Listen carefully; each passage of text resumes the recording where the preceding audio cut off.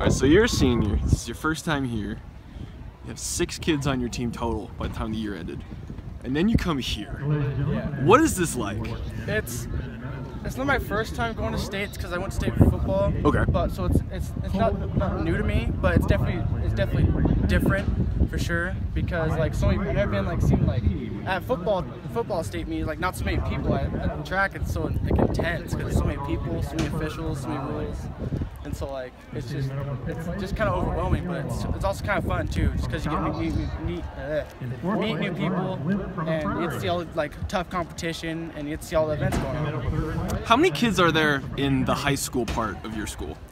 Um, I'd say like 30 to 40. Okay, kids. that's what I saw 41, but I wanted just to make Yeah, sure. like 40 kids. So, and I think that it said the city is like 400-ish people, Uh, 500. it says on the sign the population like 533. Okay, this school itself has 1,200 kids. Yeah. When you come to a school like this, what is it like? I mean, what is this? This is a, this is a big time school for Yeah. for Idaho. What is it like to, to come to to a place like this? Well, I actually used to live in Nampa when I was in mil- like a lot maybe before I moved to New Meadows. So Okay. it's, I've, I've been familiar with it, but it's definitely like it's still overwhelming just because there's so many kids and it's so many like amazing athletes and it's just crazy. So you see all these team buses here. You had the, the team minivan. Yeah, We'll yeah, call we it. did. Uh, I mean, what, what is that drive? You said it's what two and a half hours? Yeah. What what are you doing? You talking to yourself? You talking No, to? I just just small talk with my coach and uh, the kid we brought with us to kind of get a little experience with on the, that state. I assume because you guys kind of drive all over the place. You must have a pretty good relationship with your coach. Yeah, yeah, um, yeah. He's a, he's a nice, he's a really good, real good guy. He's actually my uh, my basketball coach, so we've gotten really familiar with each other. He's a really good guy, and he's really easy to talk to. So you just got here today. Are you guys staying tomorrow, or are you are you heading right back after? Um, I'm actually going to my senior trip right after I finish my um, event. Oh wow. Yeah, Okay, where's that at? we're actually going to the Oregon coast.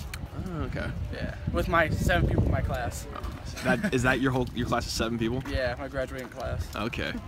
Okay. um. So I mean, you have downtime like tonight. You're gonna go to your hotel. What do you What do you do? I mean, Well, I, actually- I, I know most teams do like team get-togethers. There's something. There's, there's Um, you and we're actually going to um, Olive Garden with with my other coach that shows up, Chris Wilson. Okay. Um, we're gonna go to Olive Garden, and then we're probably just gonna go to a hotel. We're gonna stretch, get a good stretch in, get ready for tomorrow, and just pretty much just cool, calm, and collected.